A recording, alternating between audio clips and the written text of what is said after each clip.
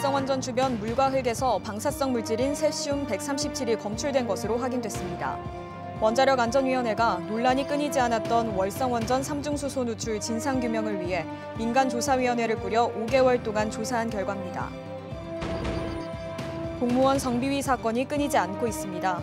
지난 4년간 경북은 성비위 관련 공무원 징계가 27건으로 전국 광역 지자체 가운데 세 번째로 많았습니다. 여러분 안녕하십니까? 포항 MBC 뉴스입니다. 월성원전에서 방사성 물질이 지하로 누출된 사실과 원인에 대해 포항 문화방송이 지난 1월 연속으로 보도했는데요. 원전 안전성 문제가 대두되면서 원자력안전위원회가 민간 조사단을 구성해 지난 5개월 동안 정밀 조사를 벌였습니다. 조사 결과 월성원전 1호기 주변에서 감마 핵종인 세슘 137이 토양과 물 시료에서 검출돼 충격을 주고 있습니다. 김형일 기자가 보도합니다. 원자력 안전위원회가 지난 3월 월성 원전 삼중수소 진상 규명을 위해 민간 조사 기구를 구성했는데 지난 5개월간의 조사 내용 일부가 언론을 통해 공개됐습니다. 월성 원전 1호기 사용 후 해결료 저장조 주변에 토양과 물 시료를 분석한 결과 토양에서는 감마액종인 세슘 137이 그램당 최대 0.37 베크렐 검출됐고 물에서는 세슘 137이 그램당 최대 0.14 베크렐 검출됐습니다.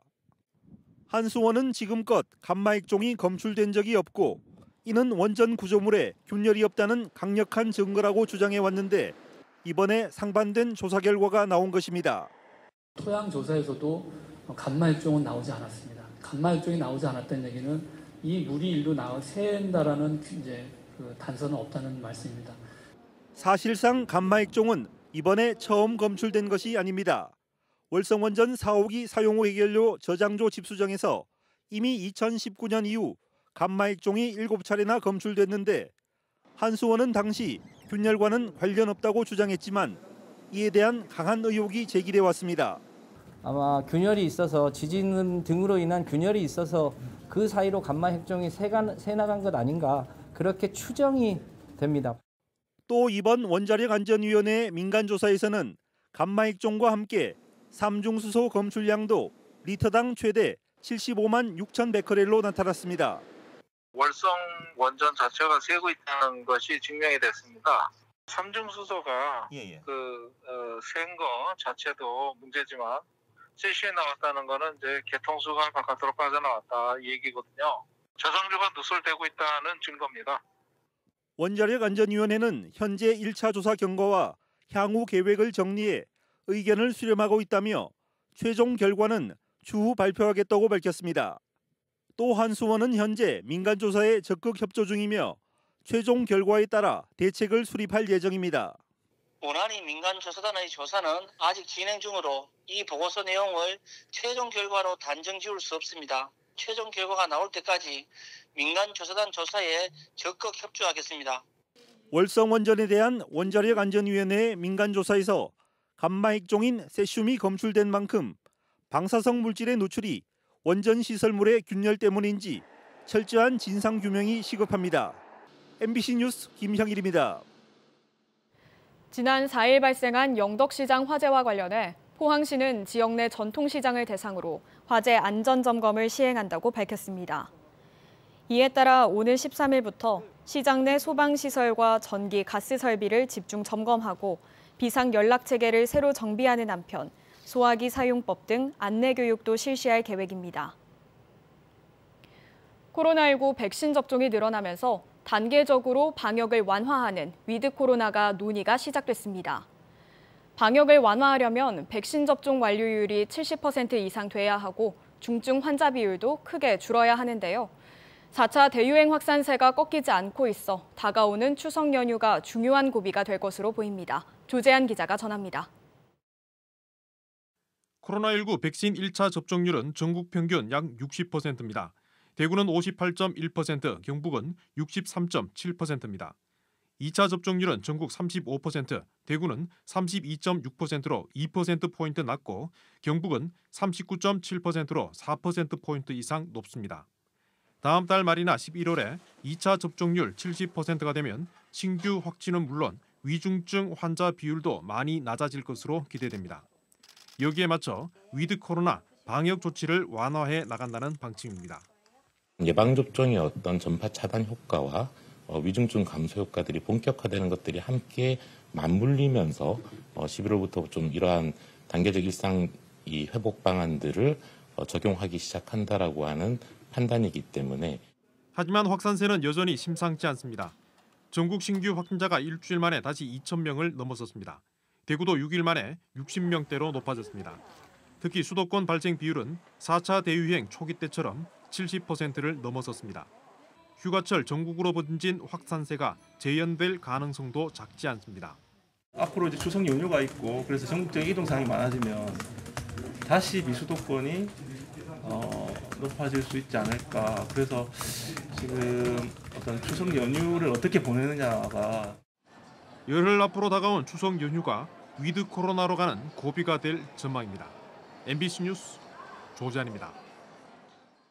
포항시 코로나19 확진자가 어제 한명에 이어 오늘 세명을 기록해 뚜렷한 감소세를 보이고 있습니다. 이들 세명은 기존 확진자의 가족 등 두명과 자가격리 도중 확진 판정을 받은 한명입니다 포항시는 지역 코로나19 확진자 수가 줄어든 것은 사실이지만 국내 신규 확진자가 또다시 2천 명을 넘어섰고 연휴를 앞두고 있는 만큼 방역수칙 준수를 당부했습니다. 팔공사는 대구와 칠곡, 군위, 경산, 영천을 아우르는 대구 경북의 대표적인 명산이죠. 생태적 가치가 높은 데다 동화사와 갓바위 등 역사적 문화적 자원도 뛰어납니다. 하지만 주민 반대로 한 차례 무산됐던 팔공산 국립공원 지정이 재추진되고 있습니다. 양관희 기자가 보도합니다. 팔공산은 해마다 1,800만 명의 탐방객이 찾아오는 대구 경북의 명산입니다. 국보 2점과 보물 25점이 있고 1980년 도립공원으로 지정됐습니다. 서식하는 생물종은 5,200여 종으로 국립공원인 오대산 5,100여 종, 무등산 4,080여 종보다도 많습니다. 특히 매와 삭, 담비 등 멸종위기 야생동물 14종과 천연기념물 12종이 서식합니다. 팔공산은 2015년 환경부 산하 국립공원공단이 실시한 국립공원 신규 지정 연구에서 매우 높은 평가를 받았습니다.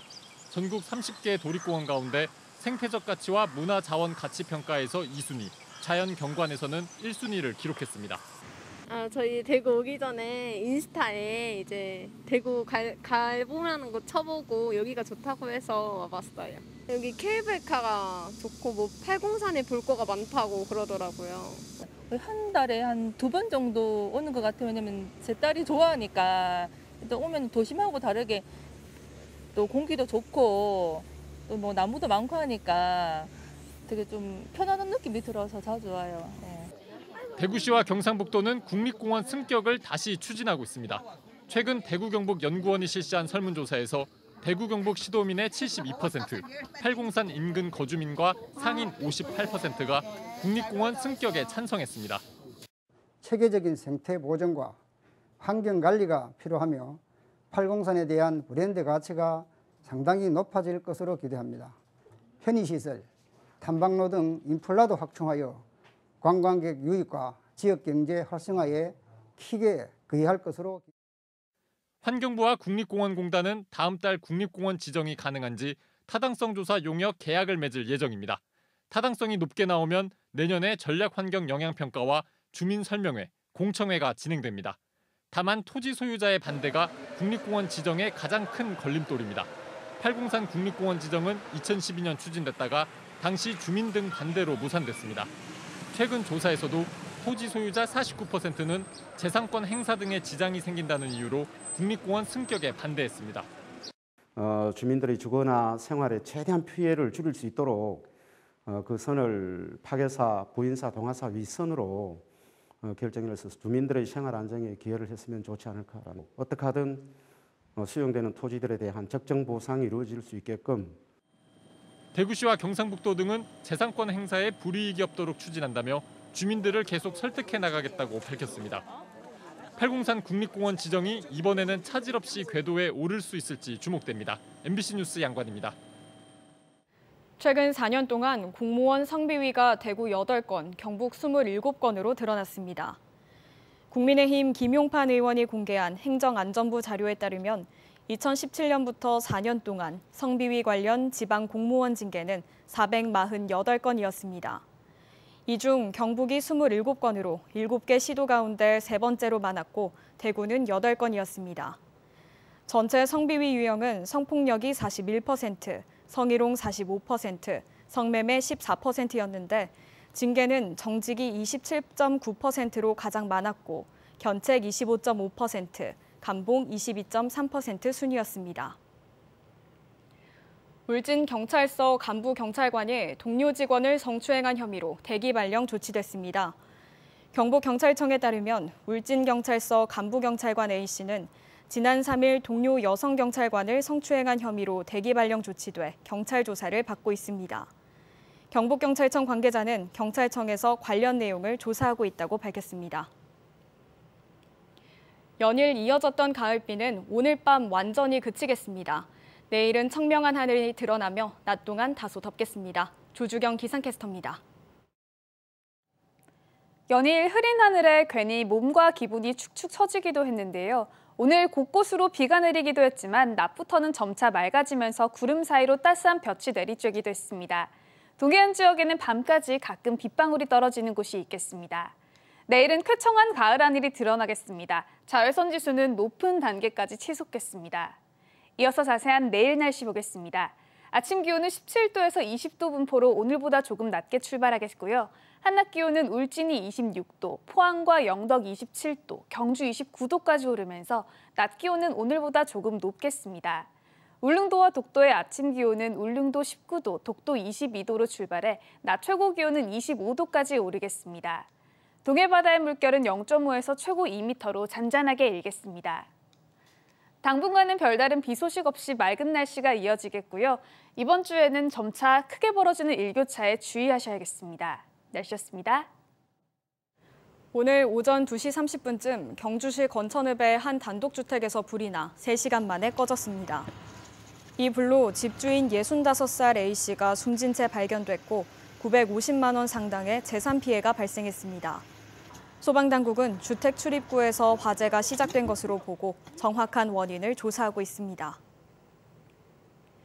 더불어민주당 대선 경선 예비 후보인 박용진 국회의원이 오늘 포항을 찾아 지역 현안인 영일만 대교 사업을 채택해야 한다는 입장을 밝혔습니다.